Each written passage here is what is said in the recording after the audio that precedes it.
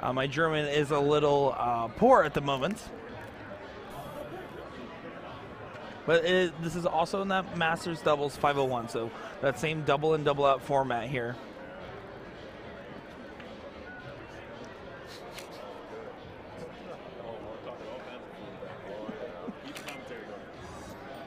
and you see it out taken there.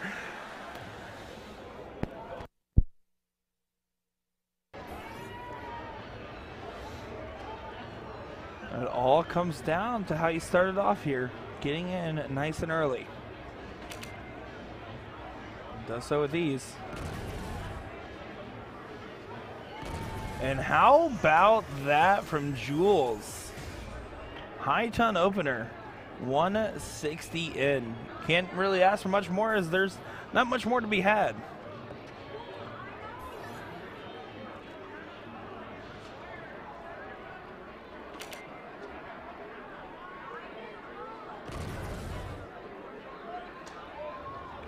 Well, what a way to answer it. A 160 to follow the 160.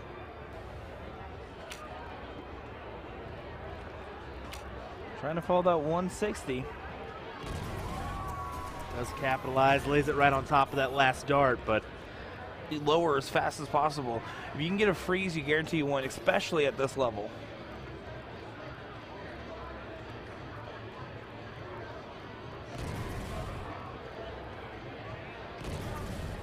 Mike doing damage.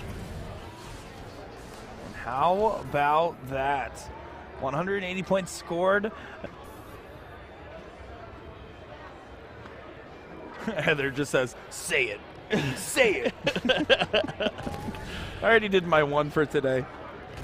I, am keeping him oh. on a harsh limit here as we get a big 180. Oh, but you we're not do saying that. it. We're not You saying can it. do that, We're not but I can- Nope, nope. Maximum from Jules Van Dongen.